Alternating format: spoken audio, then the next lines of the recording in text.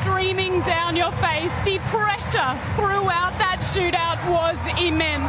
Take us inside this moment and what it means to a side that has ridden a wave of emotion throughout this Women's World Cup. What people don't understand is that we've been in this situation twice before and we've lost major tournaments because of penalties. And I'm so proud of the people who have missed those penalties, who stood up and took that because it takes a lot of courage to be able to do it. And I couldn't be more prouder than us making history.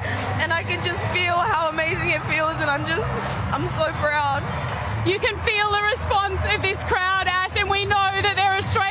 fans right around the country in stadiums, in lounge rooms, in Federation Square, celebrating what is a moment of history. It was a massive moment, and we can hear the crowd going again. I can barely hear myself think. The pressure that you're under, the crowd here was immense. I'm sure it was immense everywhere else. If you think it's big for tonight, just wait until the semi final. The crowd has just risen to its feet once again as Mackenzie Arnold has been named player of the up on the big screen.